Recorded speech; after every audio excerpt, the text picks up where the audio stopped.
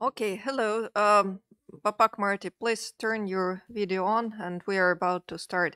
Uh, good afternoon, Jakarta time, and good morning to those who are in Moscow and other relevant time zones. Dear friends, ladies and gentlemen, uh, ASEAN Center is happy to announce the start of a new series of online lectures titled ASEAN Academic Days 2021 in MGIMO. And our first guest lecturer is Dr. Marty Natalegawa, Minister of Foreign Affairs of the Republic of Indonesia in 2009 2014, and also a prominent Indonesian diplomat. So currently, Dr. Natalegawa is a member of the UN Security General's High Level Advisory Board on Mediation and he offered a number of academic publications and articles on international relations, on the situation in the region, ASEAN, and the geopolitics economy nexus. One of his recent books uh, is the one we particularly uh, love is Does ASEAN Matter? A View from Within. And we are very privileged that uh, Bapak Marty agreed to share his views on ASEAN and the current situation today. We have almost 200 uh, registered participants from 16 countries. I counted this morning Russia, Indonesia, the Philippines, Thailand, Singapore, Vietnam, Myanmar, India, Nepal, Belarus, the UK, Denmark, Bulgaria, Israel, Kazakhstan, Uzbekistan.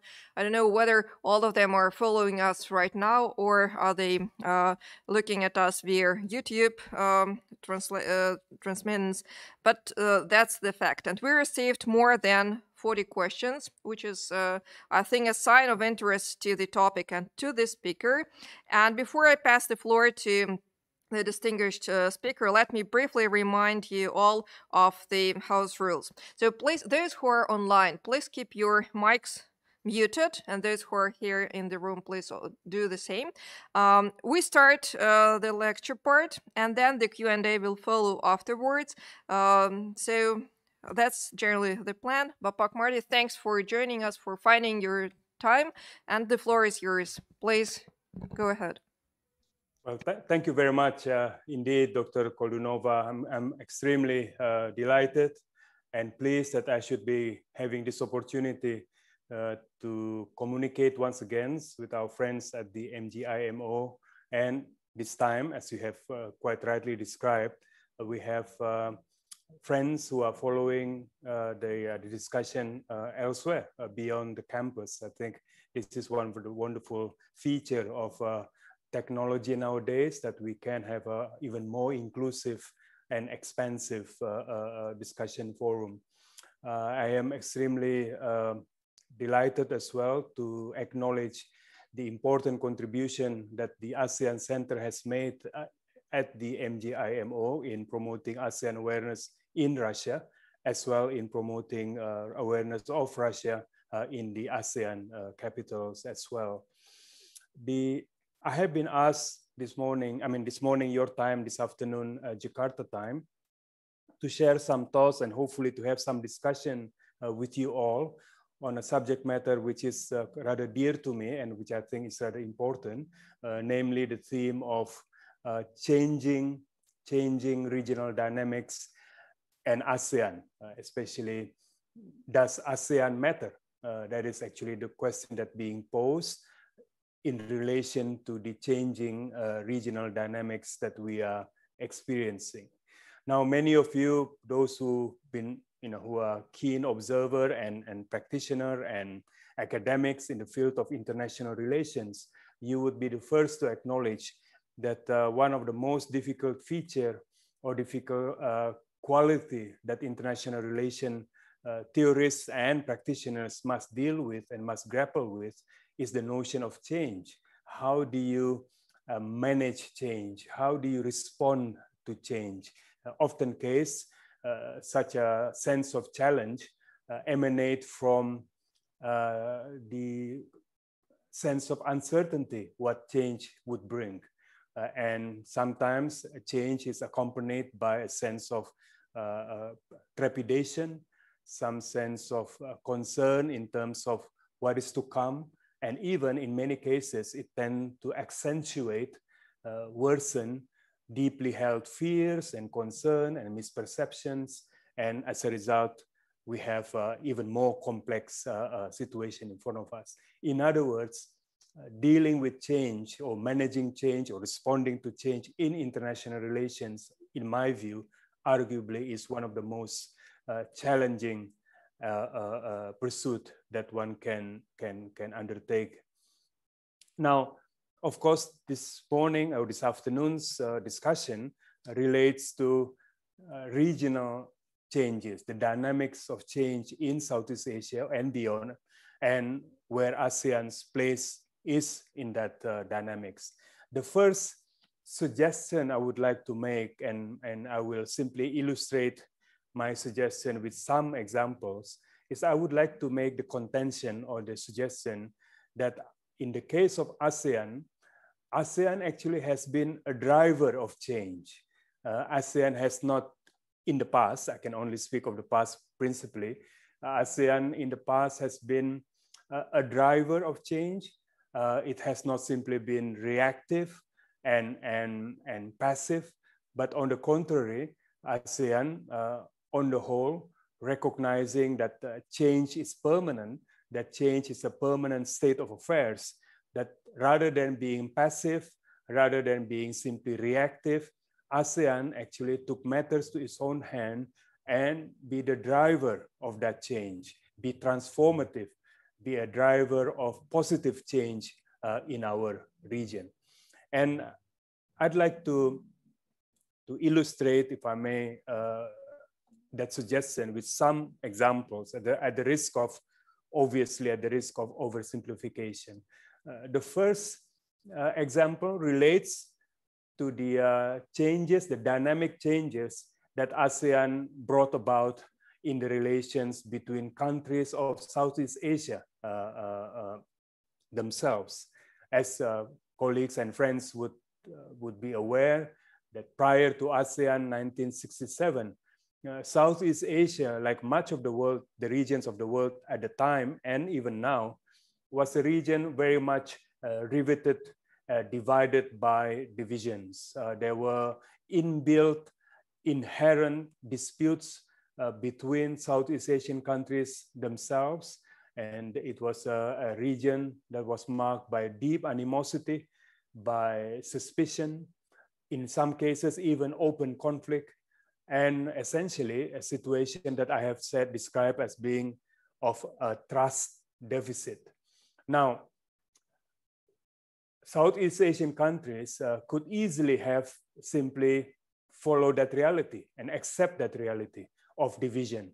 As in many other instances, for instance, in Northeast Asia, uh, we have the divisions uh, marked by most dramatically on the Korean Peninsula and the different uh, actors or states behind that particular equation. But in the case of Southeast Asia, slowly, step by step, incrementally, uh, the dynamics uh, began to change in Southeast Asia. And the contention I wish to make, the suggestion I wish to make, is that these changes did not occur by accident. They were part of a coherent, cohesive, deliberate, sustained, persistent patient efforts by the leaders of Southeast Asia countries at the time. Some uh, hallmarks or some key moments that demonstrate or that propelled the change, I, I might, I might uh, uh, illustrate.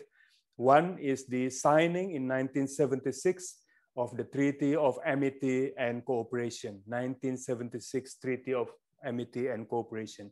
Essentially, uh, this treaty, as many of you would be aware, uh, commits countries of Southeast Asia uh, to signatories to the treaty to resolve problems and issues between them peacefully, to renounce the use of force. Now, one may think nowadays that this is actually a non-event. Some of you may think, what's the big fuss? But it was a big deal then, uh, 10 years, only 10 years after ASEAN formation. Because as I said before, at the time, uh, Southeast Asia was a region divided perfectly along many, uh, in many ways. And yet the, the leaders of ASEAN at the time determined that whatever problems that they have, they will place diplomacy at the forefront. And I think this kind of uh, non-use of force, or in some contexts, some people will use the term non-aggression uh, treaty, uh, sort of had a decompressing effect. It had the effect of building, instilling a sense of trust that come what may, however difficult the situations are, we will we commit not to use force to uh, resolve them. So that was, I thought, a rather transformative, uh, forward-looking uh, uh attitude that changed the dynamic in Southeast Asia.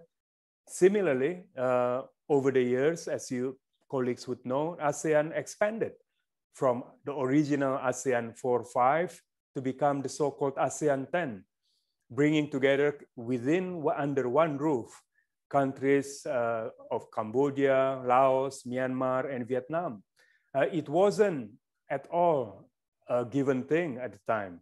Uh, as you may be aware, at the time, ASEAN was described as being a so-called pro-West uh, grouping aligned against non-Western leaning countries.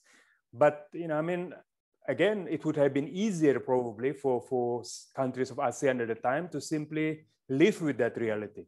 But instead, uh, genuine efforts were made to reach out, to embrace, and to do the hard work to bring the countries of the so-called CLMV to the ASEAN fold under one ASEAN family. Of course, with all the attendant uh, difficulties, because we are, as a result, ASEAN is even more diverse even more uh, uh, varied than it was ever before.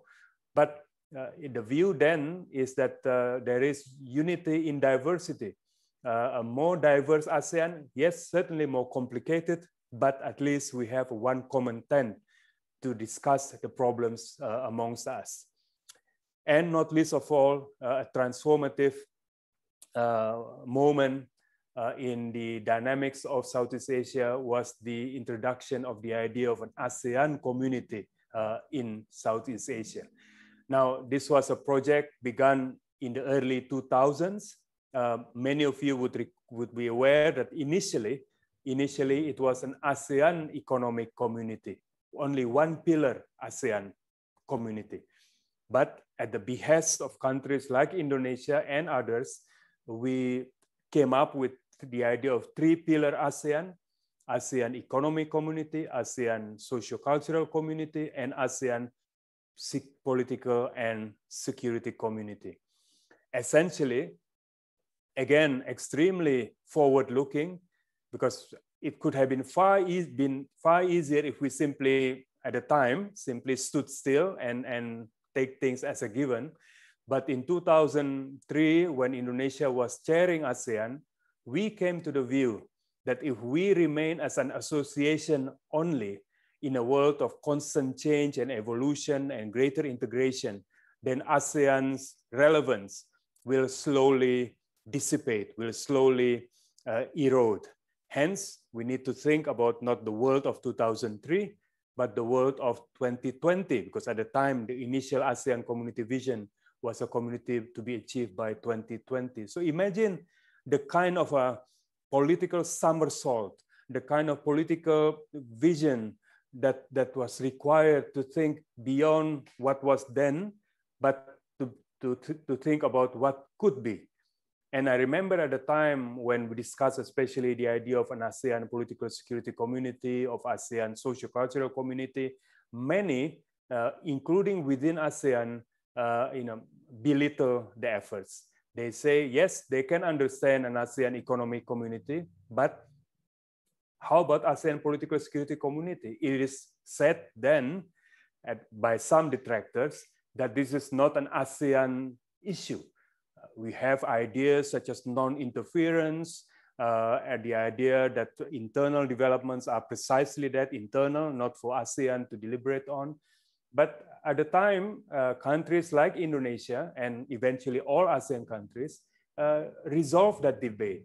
We came to the conclusion all the way back in 2003, all the way back to 2003, and there's no need to reinvent and to, to go through the same painful debate. We resolved already at that time that internal developments, internal developments in one another's countries, if they can potentially have ramifications to the wider region. And therefore, as one big ASEAN family, it is only normal and it is only natural that we should be engaging one another in this uh, type of issues, not in an unfriendly way, not in a way that is meant to interfere or, or to, to pontificate or to suffocate, but simply to talk these issues through and then to de demonstrate common solidarity and to get us all out of this situation. I think this is especially pertinent, and um, uh, if there is a question later on this issue, I will be extremely happy to address it, but extremely pertinent in the current context where there are developments in some of our ASEAN countries. And to my deep regret, to my deep regret that somehow uh, some countries in ASEAN is like reversing the clock as if we have to go back to basics again. We have to ask the question again, is this a uh, contravening in contravention to non-interference, etc. When those type of debate have been had, have been resolved, that's why we have the ASEAN political security community. That is why we are supposed to have an ASEAN that is caring and that is sharing as well. So that is one uh, transformative dynamic that I wanted to illustrate how ASEAN did not simply respond or be passive, but we were driver of change, namely in intra-Southeast Asian relations. And I gave some examples, some key moments when this transformation was propelled, was pushed forward. Uh, the other dynamic uh, I would like to mention is the relationship between countries of Southeast Asia and the wider region. And of course, colleagues at the center, at the MGIMO would be extremely well versed and extremely informed about how at one time Southeast Asia was a region perfectly divided, uh, you know, divided not only along east-west, meaning uh, US, Western uh, uh, Cold War alliance, with the Soviet Union on the other hand, and then of course you have uh, China's own unique interests. But essentially, uh, Southeast Asia did not only suffer from divisions amongst themselves that are inherently uh, local, but the, those divisions were magnified, were accentuated by the projection of Cold War rivalry. And in essence, uh, in essence at the time, uh, uh, countries of Southeast Asia on the whole were like pawns uh, in major power rivalries with hardly any say uh, in how they should conduct themselves. And in the end, literally, in some cases, uh, the joke in the, the physically, Southeast Asia became like the battleground uh, for major power uh, the, the, uh, competition and, and conflict as well. But once again, over time, decades long, Southeast Asia transformed. And once again, as I said before, in the, as in the intra-Southeast Asian uh, development, the transformation did not occur by accident. Uh, far from it. There was a script. There was a purposeful, deliberate, patient undertaking to change where we were and where we wish to be. Of course, it, this can be done uh, overnight. It took years of persistent efforts by countries of Southeast Asia. And let me just simply very quickly illustrate some of those key moments.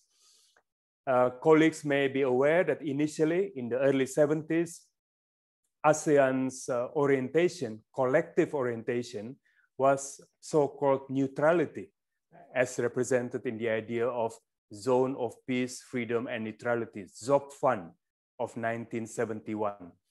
In my view, uh, the neutrality outlook of ASEAN at the time was a minimalist uh, outlook, an outlook that represents the degree of confidence or lack of confidence at the time ASEAN uh, uh, had of its own capacity, essentially imploring, appealing to the so-called major powers to please leave us alone.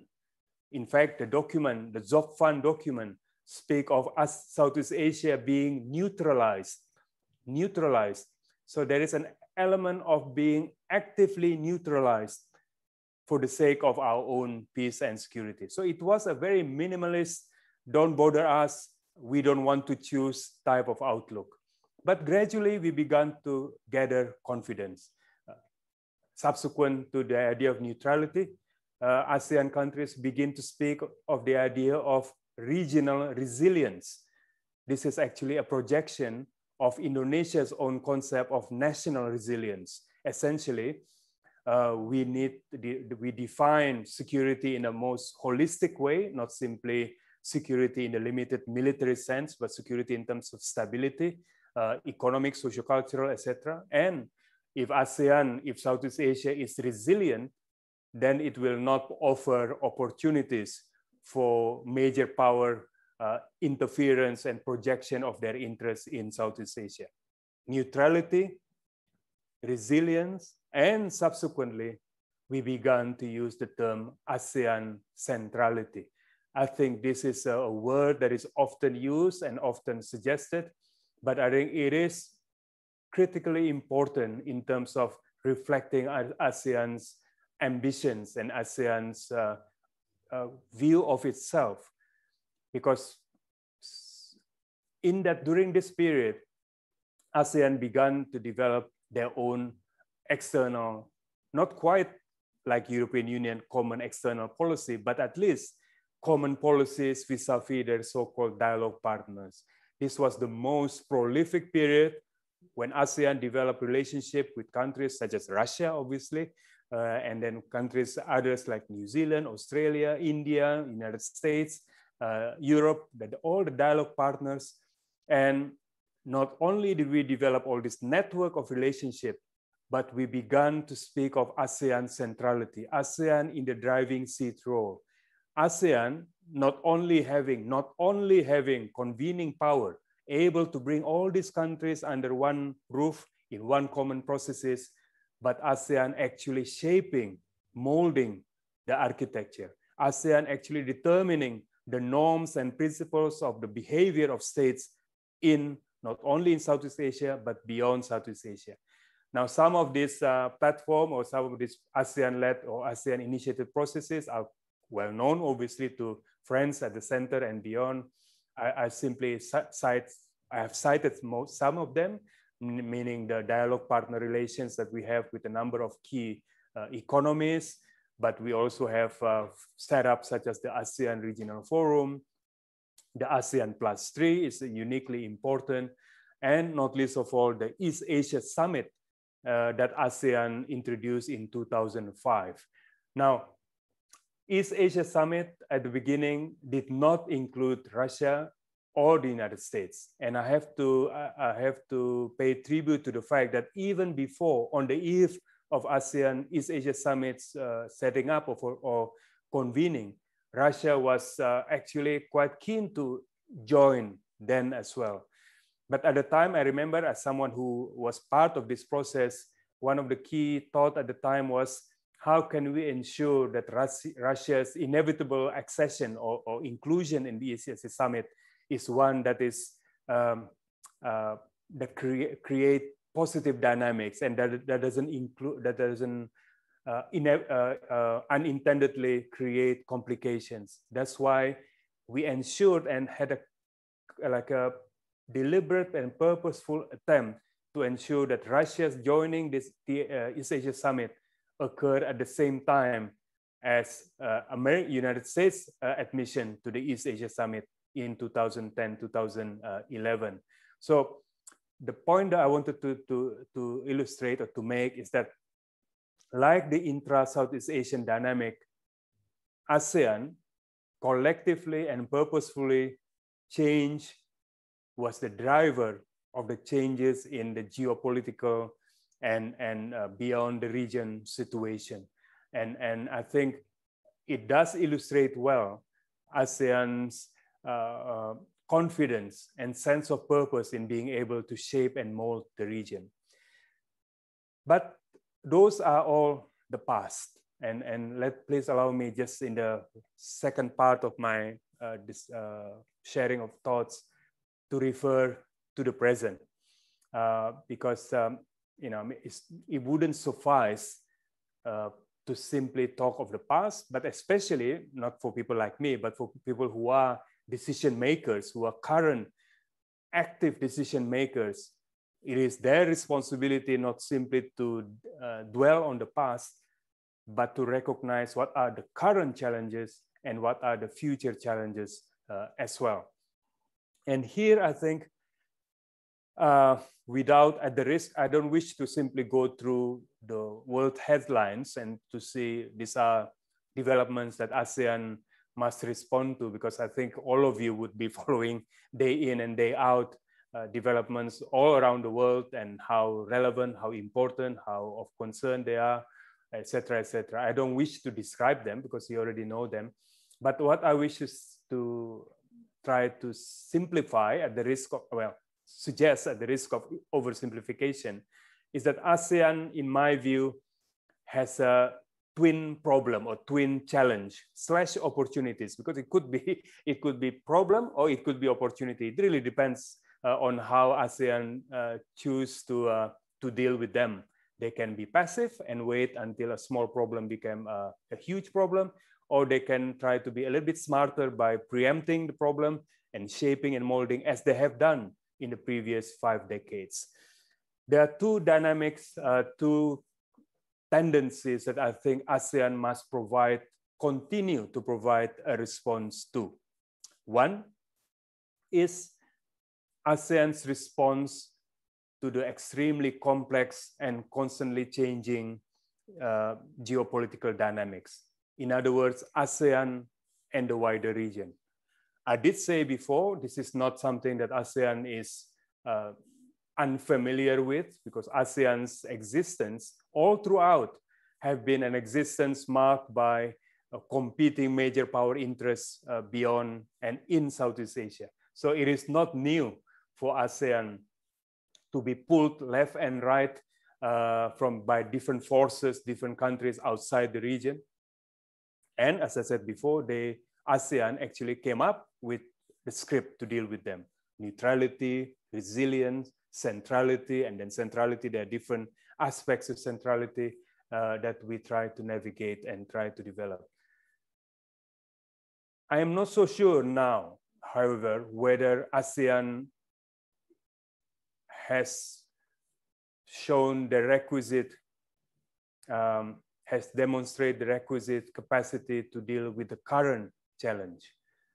Uh, I hope I'm wrong uh, because actually, when, as we speak, all the wherewithal, all the means are there in terms of institutions, in terms of processes. I mentioned before, we have the ASEAN Plus process, ASEAN Plus 3, the East Asia Summit, ASEAN Regional Forum, and even I didn't mention RCEP, the Regional Comprehensive Economic Partnership.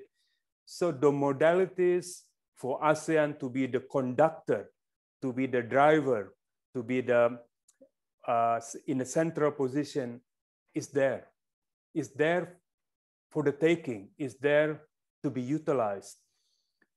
But I am beginning to be a little bit concerned by the apparent uh, suggestion as if we are now essentially uh, reducing ourselves to become a convener of diplomatic processes rather than actually shaping and molding. I hear often uh, in ASEAN capitals uh, expressions of concern, expression of worry about, for instance, US-China rivalry, uh, expression of exasperation, an appeal to be left alone that we don't want to choose, but emotion, emotion is not policy. It is not good enough for ASEAN to simply lament and uh, feel, feel sorry for the situation. ASEAN must exercise and must utilize the strategic autonomy, the centrality that it owns, that it earned for a specific purpose. Otherwise, the centrality will become merely a convening centrality. For instance, in the face, for instance, in the face of major power rivalries uh, in our region, which is not a new phenomenon, and, and, and obviously most people will tend to think this, is, this must be US-China, Most people will think of that way, but actually it's not only US-China. For instance, relations between, say, between China and India. Uh, the border situation has not been uh, that uh, conducive recently, and I know that Russia played an especially positive role in in bringing the situation under, I mean, the, the, the dynamics to be managed. But in the face of all this uh, situation, how, besides saying that we are concerned, what should ASEAN be offering and suggesting? This is where I feel that there is a little bit of a policy gap.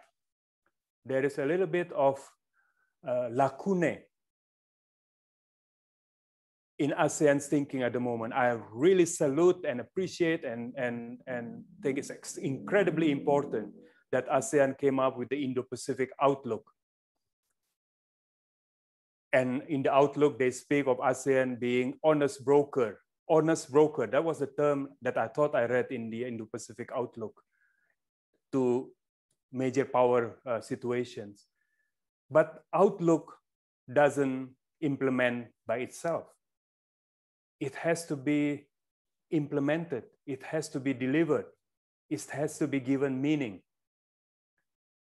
For instance, in the face of the reality of major power rivalries and competition, isn't it in ASEAN's interest, given this is a, a fact of life, that this is a reality that can't be wished away, because we have to be realist on, on the one hand, this is a fact of life that can't be simply uh, wished away.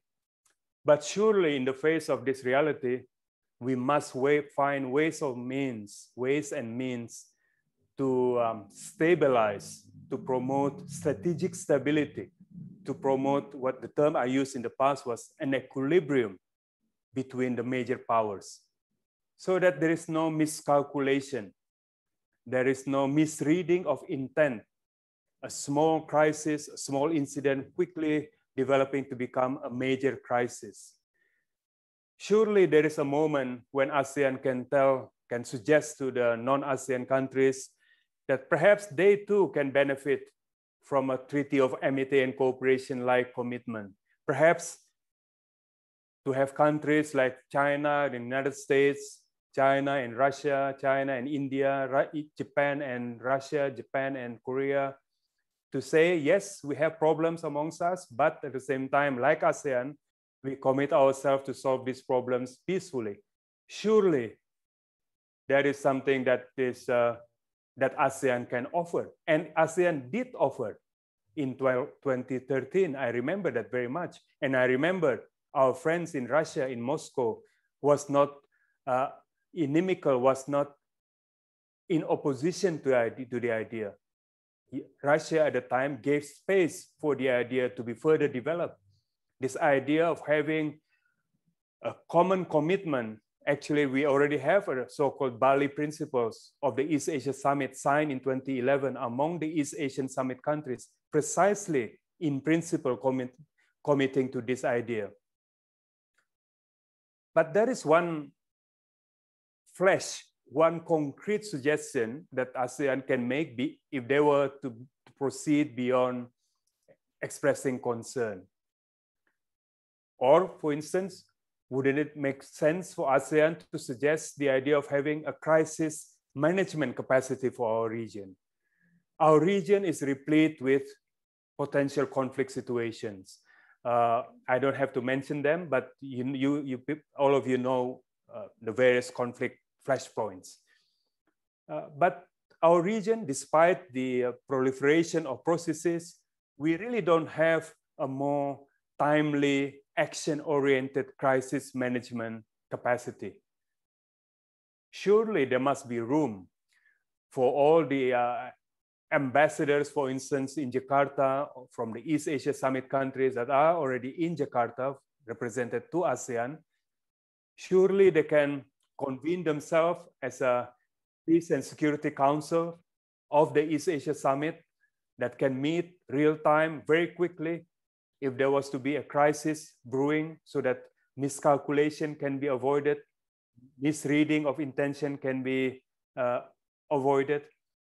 But I am just mentioning those ideas by way of trying to trigger ASEAN countries to go beyond exasperation, to go beyond saying that they are concerned, to go beyond issuing a vision, an outlook. By way of example, to colleagues in ASEAN who are listening, tomorrow I'm informed, uh, I'm, I read in, in, in, in the media that the so-called Quad countries will meet at the summit level for the first time. This is for the first time, if I'm not mistaken. Now, the Quad, as a process, if I'm not mistaken, was introduced in 2012. 2012 or 2011 in the early 2010s.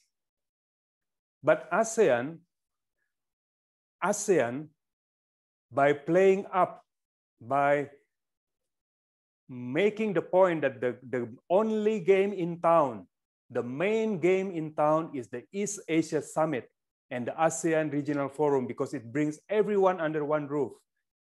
We managed to put a lid on that process. The Quad that came to being at the time remained essentially a highly technical level process.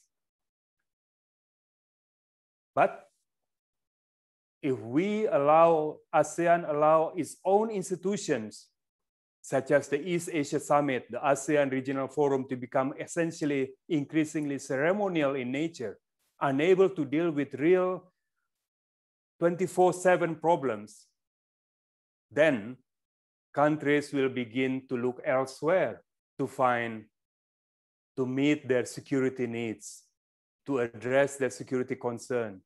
Hence, we have the Quad. No doubt, this will invoke a reaction from other countries that deem the Quad to be addressed against them. And then there will be a reaction and potential different processes. And once again, potentially, South Asia, uh, East Asia or Indo-Pacific, Asia-Pacific, Southeast Asia could once again, like during the Cold War, be divided up along this type of interests. The point that I wanted to make is that if ASEAN becomes passive, if ASEAN doesn't invest in its own processes, empower these processes, make themselves relevant, then I can guarantee you that ASEAN will wither. Increasingly, countries will find it polite probably to attend some of the ASEAN meetings, but the real regional problems of trust deficit, of conflict resolution will be resolved elsewhere.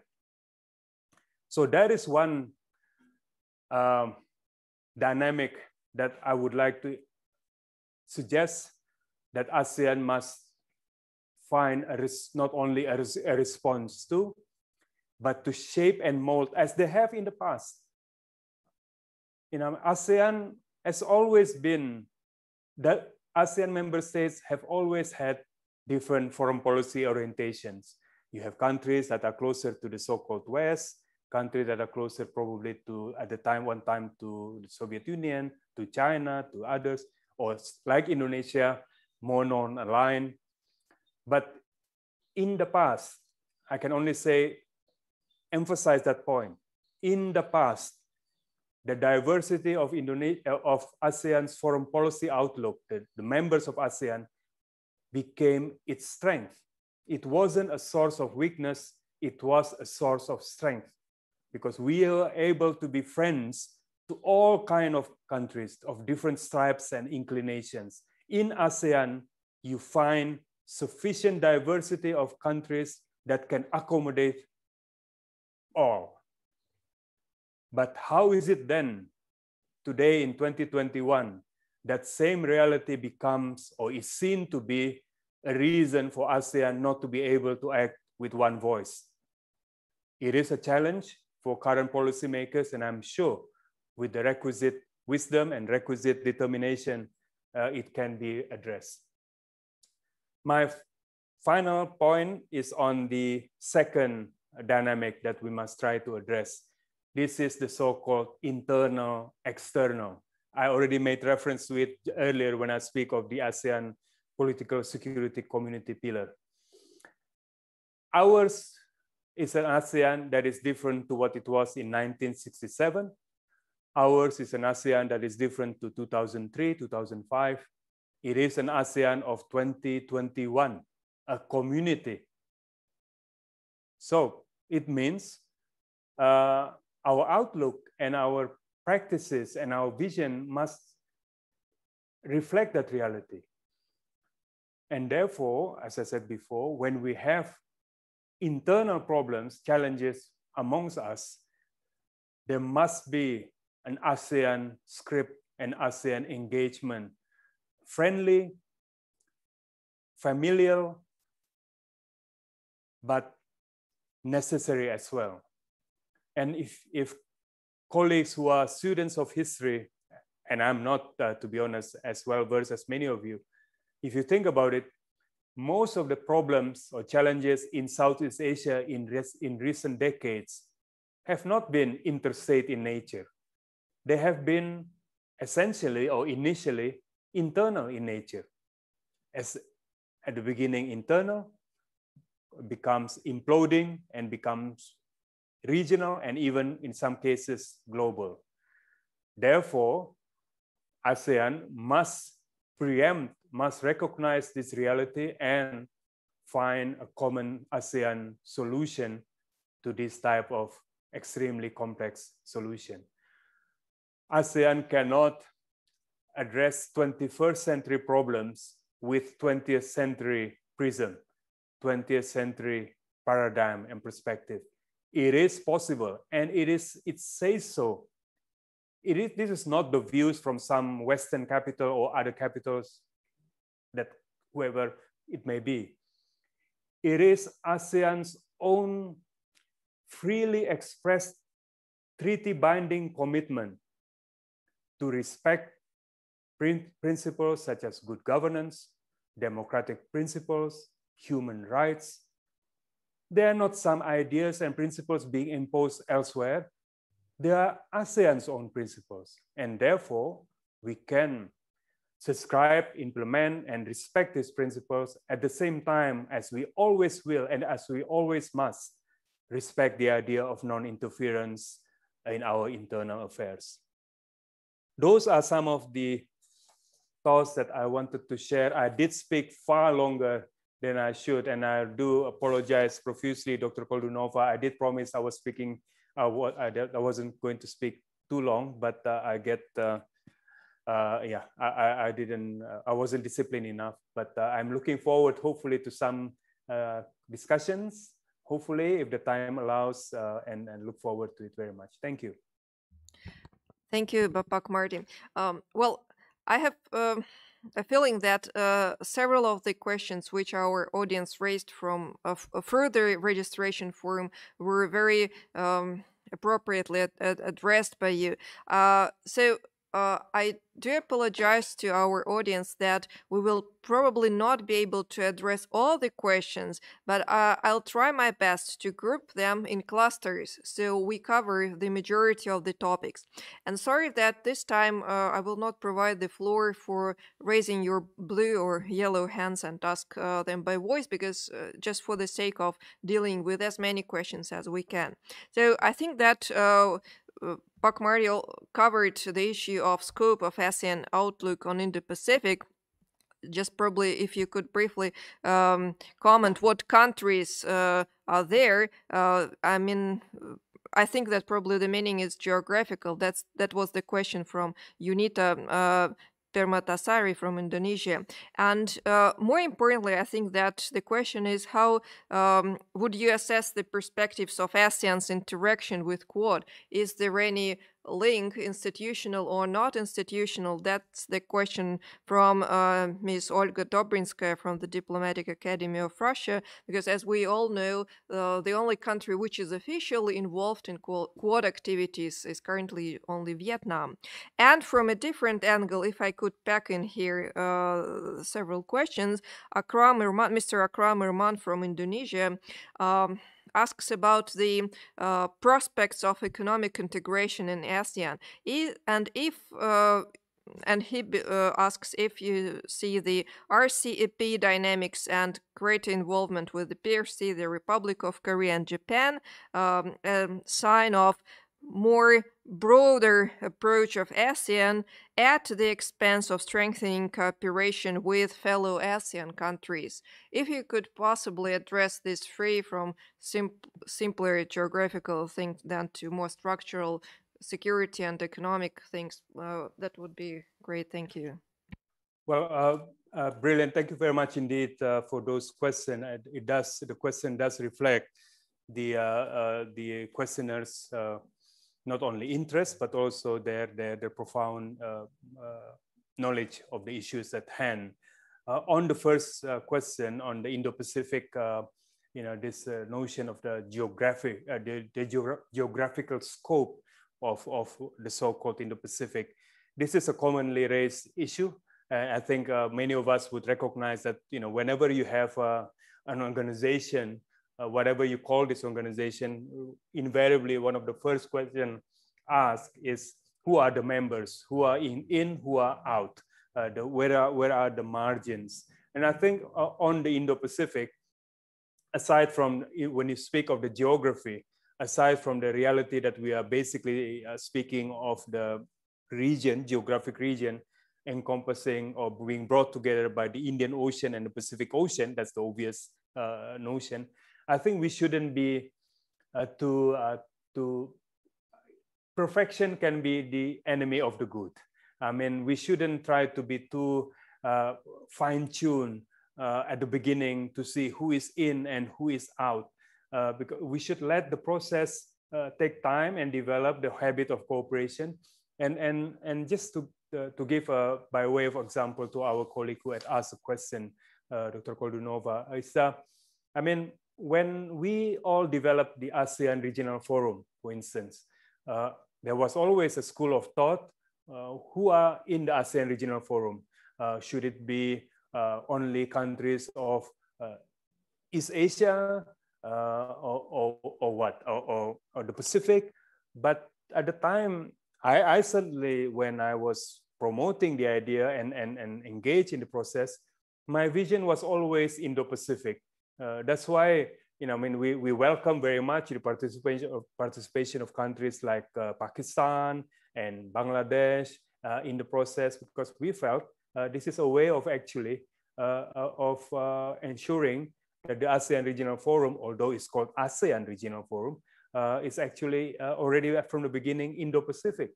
Uh, likewise, when we developed the East Asia Summit, our, our colleague may be aware that at the beginning, the idea of an East Asia community or even East Asia Summit for some was supposed to be limited only to ASEAN plus three, uh, ASEAN and then China, Korea, and Japan. It was Indonesia and followed by Australia that was persistent uh, in saying that it must from the beginning include India, it must from the beginning include Australia and New Zealand, so that there is already a ready-made Indo-Pacific elements. Uh, of course, over time, things may evolve and develop, but it is not only about geography, it is about geopolitics. And I think, um, you know, I mean, when you, when you, when your when your motivation or your guidance is the geopolitical dynamics, then you just follow it where it takes you, right? I mean, you don't have to be too uh, restrictive. If the issue demand cooperation with country A and B and C, that is happens to be outside into a uh, certain expectation, uh, so be it. That is the reality. And this, I think, it uh, um, uh, ties in to the third question. If I may jump the second question, I need to be reminded uh, what the second question was. But the third question was to do with RCEP, economic integration. Uh, I wanted to mention, because I didn't go into RCEP earlier, RCEP, the Re Regional Comprehensive Economic Partnership, was Indonesia's idea, not China, Indonesia's idea in 2011 when Indonesia chaired ASEAN. And the idea, again, uh, illustrative of a, a transformative mindset, forward thinking, forward looking mindset. The idea was to connect the outer dots because ASEAN already have free trade agreements with all the element dialogue partners involved, and we are connecting the outer dots. Again, providing ASEAN as the common home to all these efforts.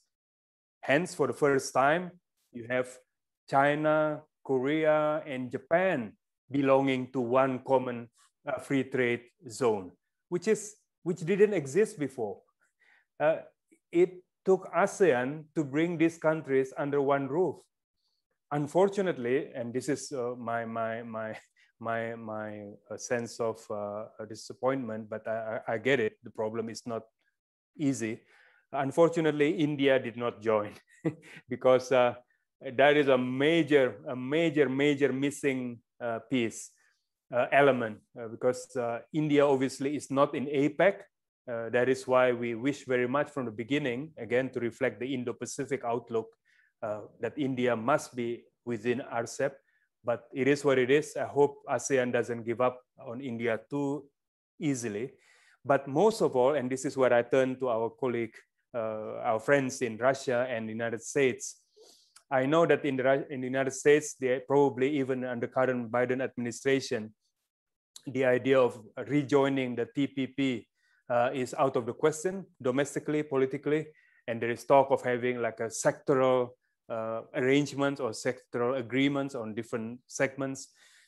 But I think ASEAN must work extremely hard, extremely hard in the way that we did the same in 2010, 2011 to make sure that when, if and when they do engage the United States and Russia, the preferred platform is RCEP, not TPP, because TPP doesn't include all of ASEAN countries. Indonesia, at least as I left it, uh, uh, you know, we didn't have any, any inclination to TPP because it wasn't ASEAN driven. That is why we, we weren't serious and, and inclined towards it. But I think it would be a, a shame if at this critical juncture, ASEAN, in the same way we allowed the Quad to revive, uh, uh, if we allow uh, countries like the United States, Russia, uh, to turn elsewhere. I know in the Russia's case, of course, there is one glaring, uh, if I'm not mistaken, glaring uh, omission or, or, vacuum in terms of a free trade area between ASEAN and Russia. This is one of the precursor to it. But I know there's been some talk about ASEAN and the um, uh, Eurasian, is it Eurasian uh, cooperation? Eurasian Economic Union.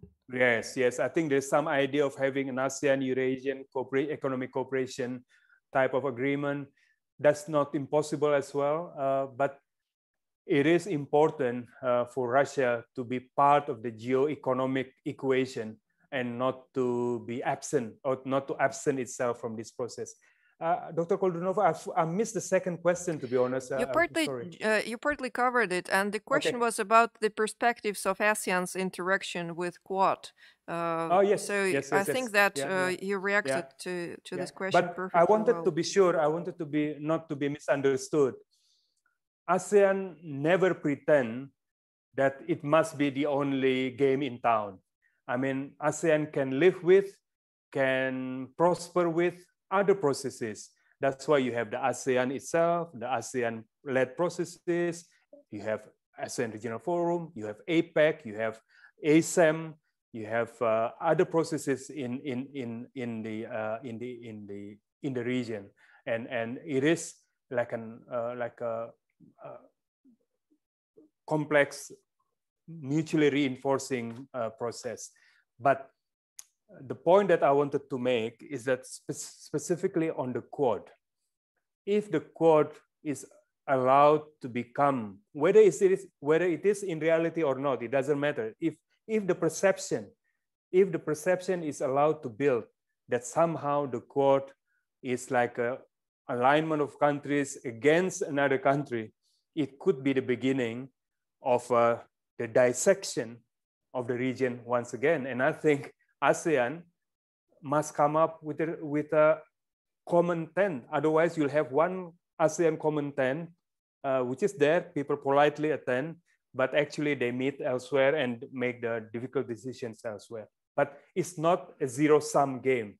Uh, I mean, we should we should uh, we should respect the process, and it is an important process, and and uh, that it shouldn't be seen as being fundamentally at odds with ASEAN's uh, objectives. Because as I am sure, all the ASEAN uh, all the Quad countries continue to invest in ASEAN, but it's just that I'm saying we shouldn't be complacent. What it reminds, it reminds that there are some needs out there that are not being met by ASEAN. Hence, there is all these other processes. That is it. That's all. Thank you. Since you mentioned Russia uh, not once, let me turn to the cluster of questions which concerned. ASEAN and Russia relations. Some of them, uh, I believe, should be addressed to our decision makers since they ask about the reasons of Russia to change its focus on foreign policy from west to east, especially ASEAN, and how is Russia's deep integration policy to and beyond Central Asia towards Asia as a continent. So uh, I just uh, named these questions, uh, I, and I'm not very much sure that th- these are questions to you uh, mm, specifically, but uh, there are other questions as well which ask mm. about ASEAN, what ASEAN can do, uh, and uh, which steps it should take in order to build better ties with Russia. And this is a question from um, uh, from the Philippines, from Franz Edward Isaac Martinez. And what can be the relationship between ASEAN and Russia in the pandemic pandemic era? And surprisingly, the question about other prospects besides Russian agriculture for ASEAN. So I take this question as an evidence that uh, everything is fine with Russian ASEAN agricultural cooperation already. Well, uh, thanks for that, of course. And finally, uh, the Russia's Greater Eurasian Partnership concept. Is there any reaction uh, from ASEAN? Uh, any um, considerations how ASEAN can uh, can be well uh, a part or a partner. Uh, that's my addition to Jonathan mm-hmm. Jordan's uh, question. So, which steps ASEAN should take in order to build better ties with Russia? What are the prospects? Uh, what is the influence of the pandemic? What can we do? And broader picture, greater Eurasian partnership, can we fit in uh, Russia's uh, integration perspectives, ASEAN integration perspectives? Thank you. Well, um, Russia and ASEAN's uh, relations is a strategic uh, partnership, right? I mean, that's how I understand uh, the relationship to be. Uh, it is not simply a relationship between uh, dialogue partners, but it is uh, a strategic partnership. And, and I think by strategic, it suggests the importance of the relationship extend beyond you know, limited bilateral relationship it is a relationship that may have consequence, that may have relevance and impact uh, globally as well. Uh, and I think this is the ambition or the, the benchmark that our leaders, uh, our decision makers have set for ourselves. Uh, it, it is not a, simply a regular, a normal, run of the mill dialogue partnership. It is a strategic partnership. And thankfully, because of the wisdom of, uh, of, of, colleagues, uh, and including the, an, an, eminent person group that I, I, I, recall once being set up for this purpose. There is already a very comprehensive menu of plan of action uh, to be followed by the two sides, right? I mean, cooperation essentially in the three pillar of ASEAN community, uh, the political security, economic, socio-cultural, and uh, the two sides would do well to simply uh, actually implement those uh, action plan and, and, and visions. Because um, uh, we are not we are not uh, short of uh, intentions and plans it's all there but it needs to be consistently uh, pursued. But one thing that i feel that you know aside from the things that are already agreed uh, in and formalized. Like any relationship, even among states, the people-to-people angle is extremely uh, important. Uh, extremely important. I mean, uh, more ASEAN folks needs to know more about Russia, and uh, more Russians need to more know about the individual ASEAN member states, its peoples. And I think whatever one can do to, to fill in the gaps or provide the, the elements for action to promote greater interaction and greater, greater uh, uh, uh sense of, of understanding between the two sides would do well in actually strengthening the two sides relationship. Uh, one thing that I wanted to emphasize as well, um, um, Dr. Koldunova, is that in all my interactions with our Russian, my then Russian colleagues, especially especially when I was working at the when I was representative at the United Nations, Indonesia's representative at the UN, uh, including when in, when Indonesia was in UN, at the UN Security Council. One trait that I find uh, in Russia's foreign policy outlook that mirrors Indonesia is the importance you attach to regional cooperation. Whenever there are conflict situation, conflict difficulties anywhere, uh, Russia tends to be ready to give the regional setup, for instance, ASEAN, the primary responsibility, the primary leadership role to address the issue. Because after all, in the final analysis, it is the countries of the region that knows the region best rather than someone you know sitting thousands of miles away. So i think uh, that quality russia's quality of recognizing the importance of regional approach uh, regional solution is one way that's well worth under, underscoring.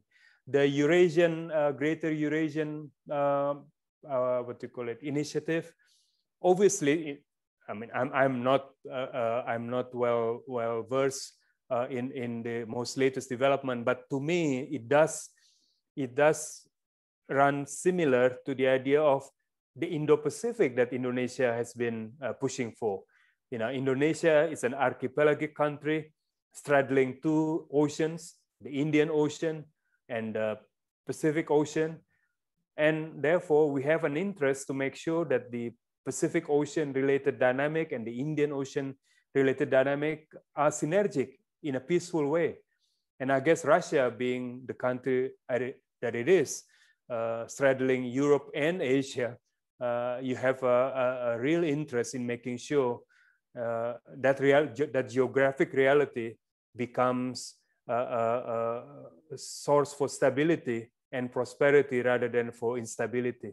It would be wonderful, I think, and exciting, to be honest, to, to, to think of projects involving the Eurasian uh, uh, uh, countries and the Indo-Pacific countries, because then you have like a, almost like a contiguous uh, uh, zone of, of cooperation and, and partnership. Uh, after all, geography still matters. In, even in the 21st century, geography matters. Thank you. Uh, Pak-Marty, interestingly that you see uh, this area in such a positive way because we have a colleague in St. Petersburg who constantly works in the opposite direction. He continues to ah. stress the greater Eurasian arc of instability and alarming us that there are problems here and there and we must be vigilant. But of course, uh, I do appreciate your positive view. That That's actually what we all would love to see because it helps people to communicate, business to flourish. Yeah. And we had a comment in the chat. I think that uh, those who are uh, online can see that comment from uh, Steve Hansen Harrison. Sorry, that Russia must deepen cooperation uh, with ASEAN in uh, sectors like tourism, creative industries, digital economy, education, etc. All this is impossible if we just have uh, the arc of instability instead of uh, area of prosperity. And, but we and, all need the, to work on that. Yeah. And the point as well, uh, Dr. Koldunova, I think a country like Indonesia and us and Russia and ASEAN as a whole, you know, we can develop multifaceted uh, diplomacy. It, it, doesn't mean it doesn't have to mean uh, when you look to one side, it means you are looking less to another side. I mean, uh, you know, uh, you know, diplomacy, foreign policy can be multi-pronged and multi-oriented. It can be mutually reinforcing. It doesn't mean it doesn't have to be zero sum.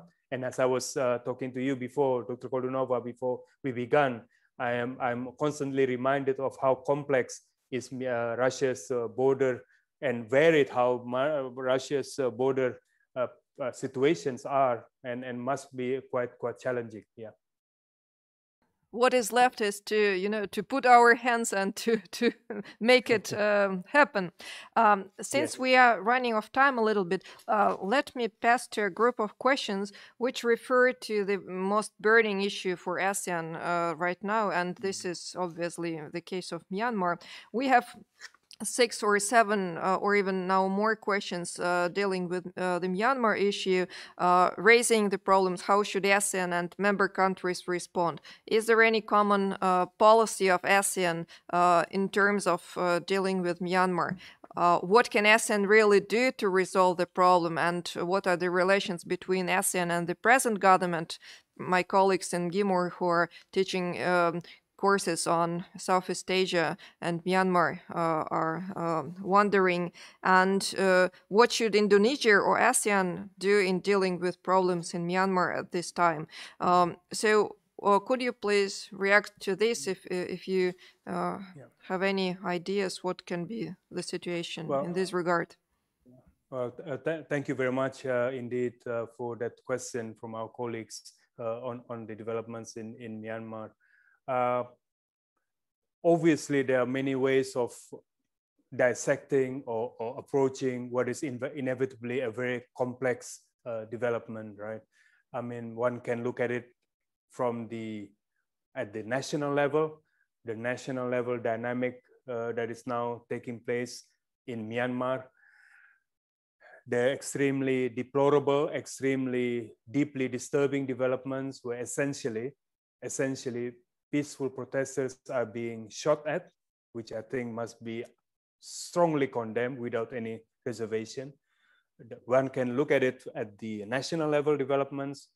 One can express some thoughts on the regional level developments, ASEAN, and as well the global level. So there are the three level that one can uh, approach whatever, what, what is now happening, occurring in Myanmar. And, and I don't want to belittle and oversimplify uh, given the time limitation, you know, the nature of the problem and challenge that we are facing. But uh, let me just uh, address this issue by way of some key questions uh, if, of my own, if I may.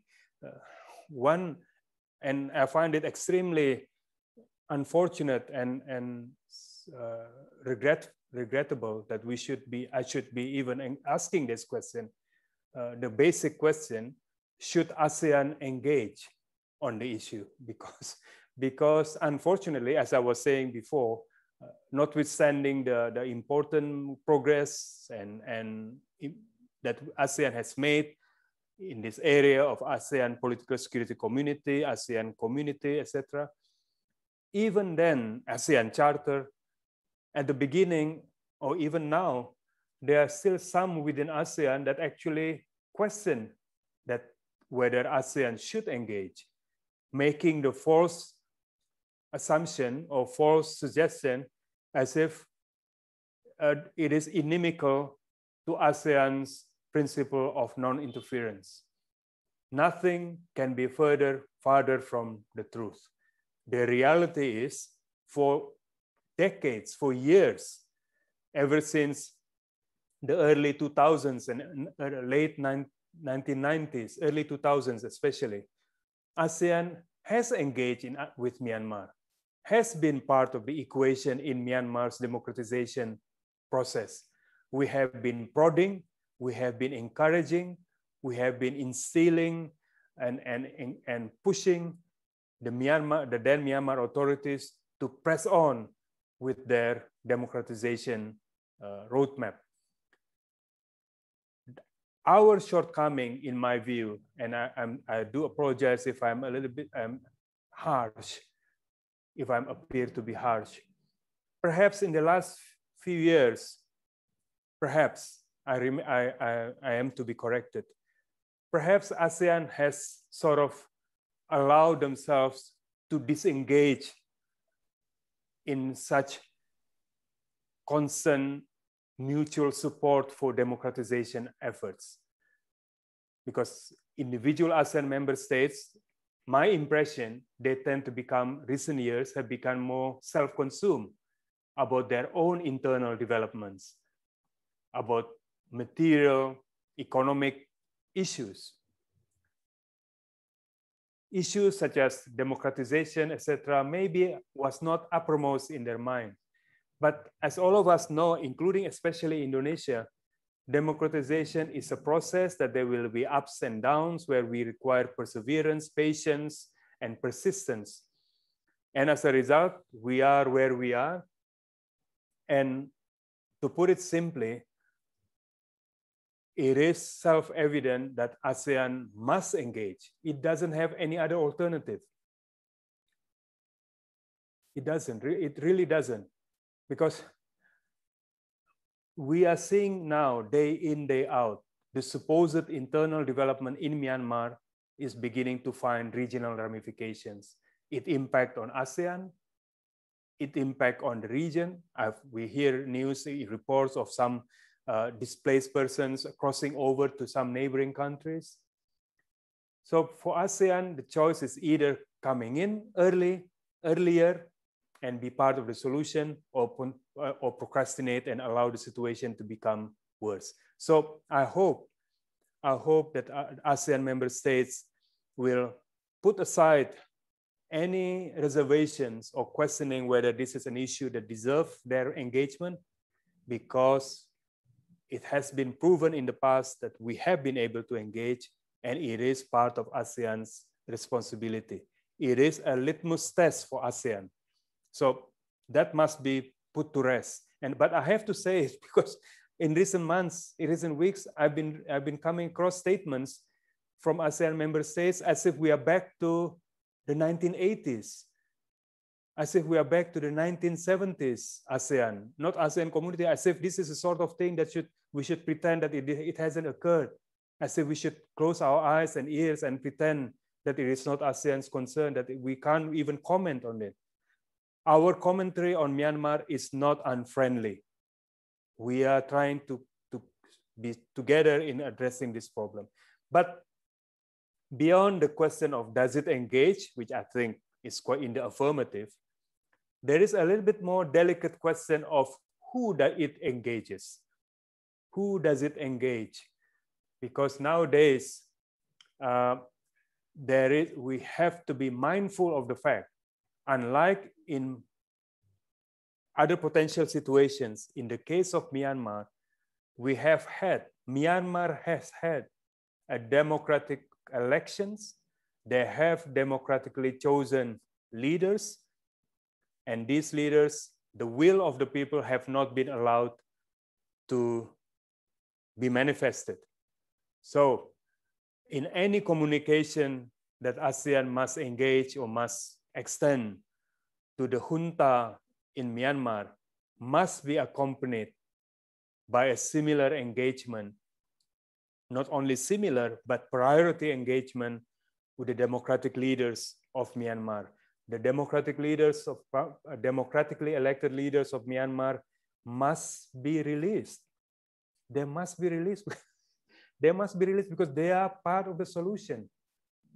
And when I came across ASEAN's chairman's statement at, at the end of ASEAN Foreign Ministers meeting uh, uh, a few weeks ago, a couple of weeks ago, it, it saddens me that references to the release of leaders without mentioning Daw Aung San Suu Kyi was expressed as if these are the, the views of some ASEAN member states.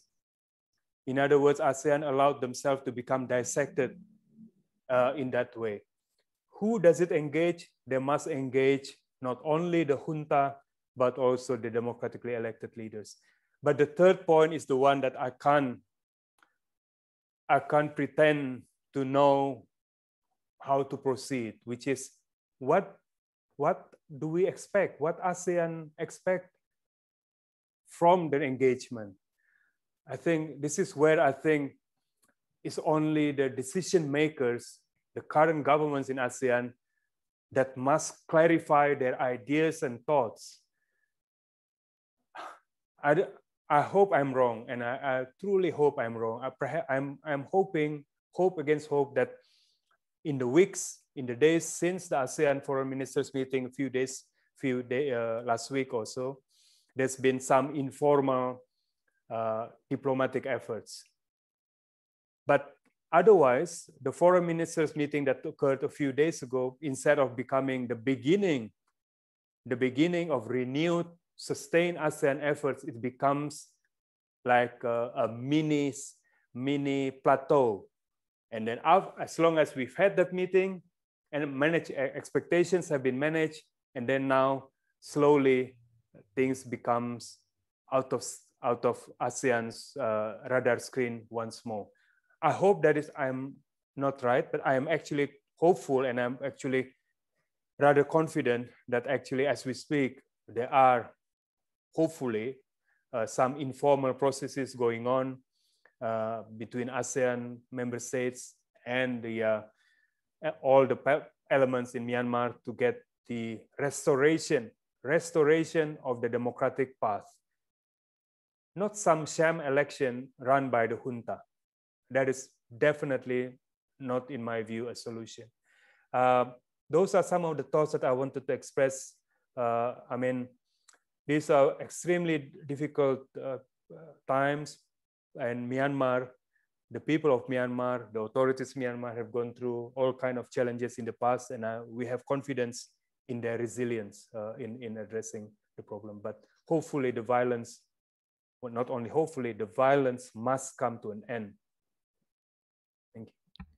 Thank you. Bapak Marty, for your uh, well frank sharing of your ideas about this uneasy situation. We have lots of questions uh, left unanswered about China and COVID situation, but let me use the final 10 minutes to address the uh, questions which I think logically come out of our discussion of the situation in Myanmar. And they refer to the issues which relate to the civil society in the ASEAN countries. What, what is their role currently vis-a-vis the previous uh, historical period, human security issues, um, uh, sustainable development goals which refer to peace and justice for its uh, member states.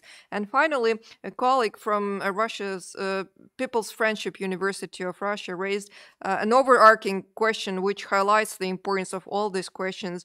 Um, is it not time for ASEAN to address the issue of its own uh, approach uh, towards uh, the problems of democracy, democratization, human rights, etc., and to think about its uh, its concept of these issues uh, on the one hand, against the background of external influences, we all know well that uh, the United States, the European Union, they have very strong and uh, advanced position on uh, on these issues, and they are not ashamed of, you know, going uh, further with their pers perspective. And on the other hand, there are certain uh, developments which are taking place in the region, which probably bring these questions as more urgent for the region itself. If you could address uh, briefly this set of questions, thank you. Thank you very much. Uh, I will take up this, the second question first, if I may, uh, since uh, they are a little bit like a subset of the bigger question. The first question was a, a wider question, but the second question, uh, essentially ASEAN own uh, response probably on, on issues such as democratization, human rights, governance issues. Uh, that is precisely, precisely the objective and the thought behind the idea of having the ASEAN political security community. Essentially, it's not only about ASEAN uh, emphasizing their own commitment to the promotion and protection of human rights, democratic principles, and good governance, but also accompanying that ASEAN's determination to develop their own capacities in this area. Uh, let me give you some examples.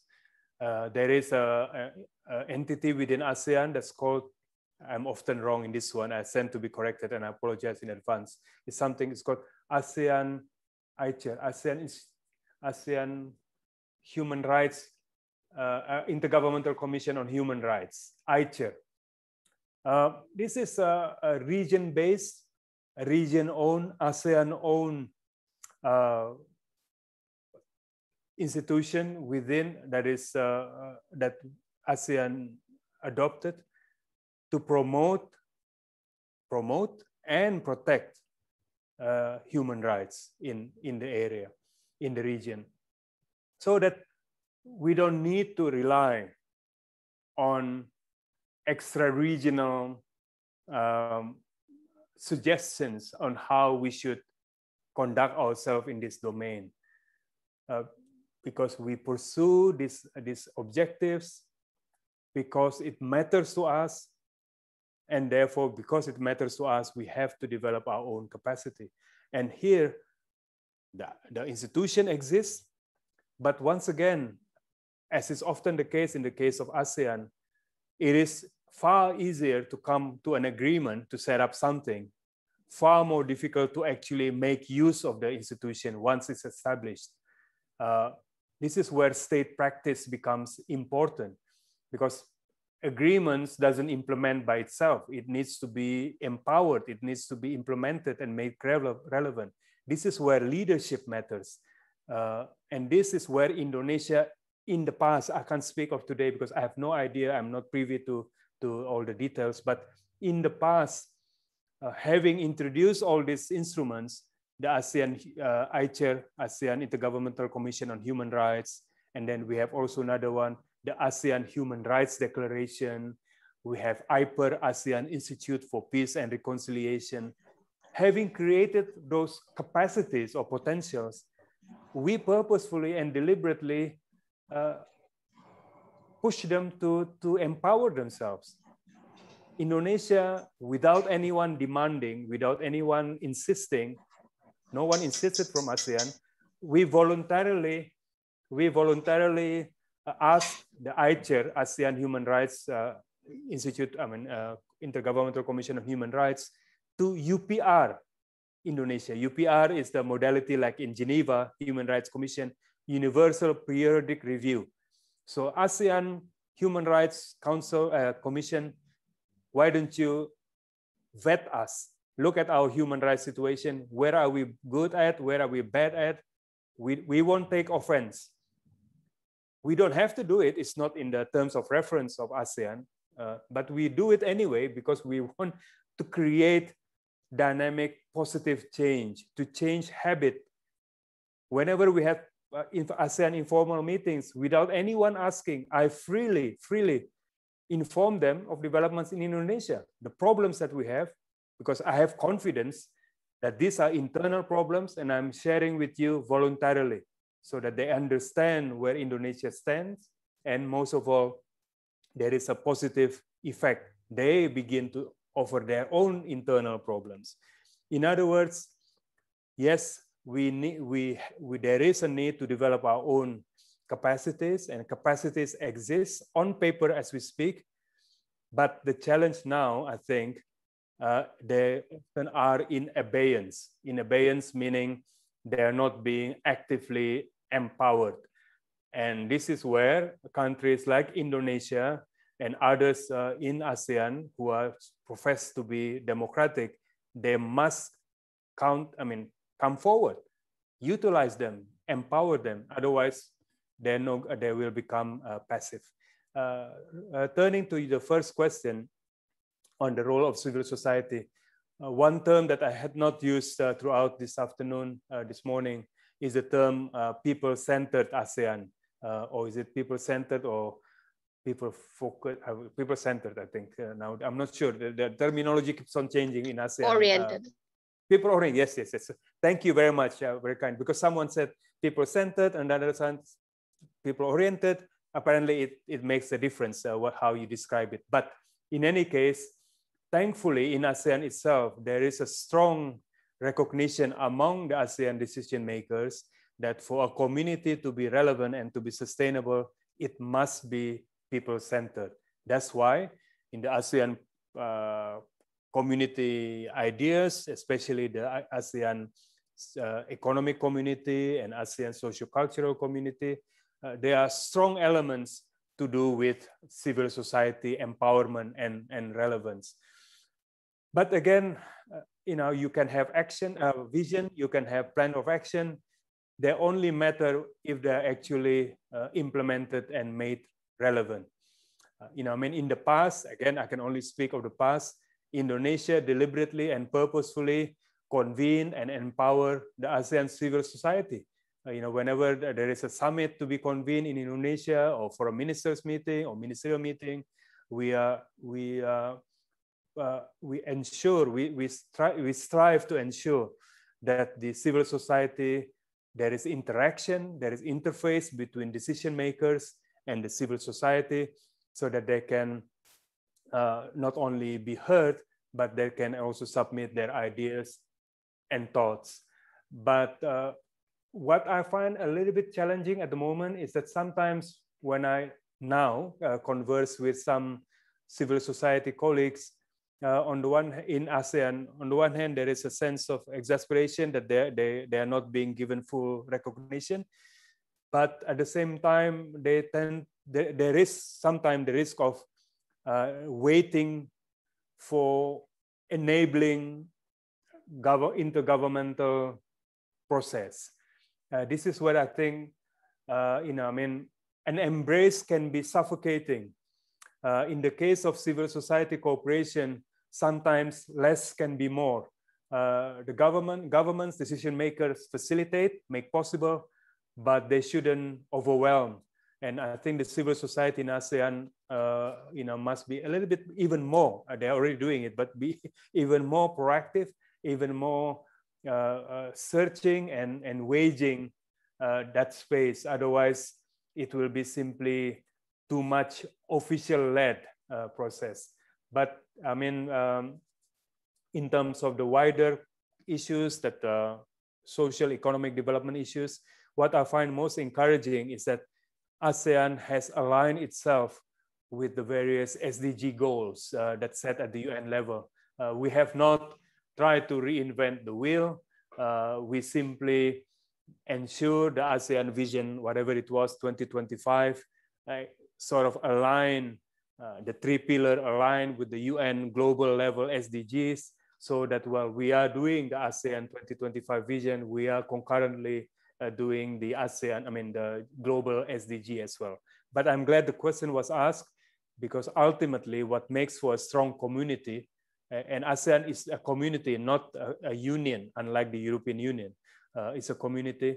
There must be a sense of uh, popular participation and there must be a sense of popular uh, uh, ownership in the process as well. Thank you very much. Thank you. Thank you, uh, Dr. Natalegawa, for joining us uh, today. I strongly apologize uh, once again to all of uh, the participants whose questions were not raised out loud in the discussion, but please rest assured that we collected all of them carefully and directed to Dr. Natalegawa beforehand it's just the time constraint uh, which prevented us from addressing all of them. But it also indicates that we still have uh, more other things to discuss and uh, an indication of the topic which is resonates very deeply among the audience in Russia, in Southeast Asia, and far beyond this time, uh, these two areas uh, and regions. Uh, Please could all the participants turn on their cameras if you can, and we will do a group photo. Uh, that's our pandemic um, habit, which we acquired, but also a good memory of today's event for all of you. We will do several shots, so please don't uh, turn, do not turn off the cameras, and then you will find yourself as internet stars on ASEAN Center's website.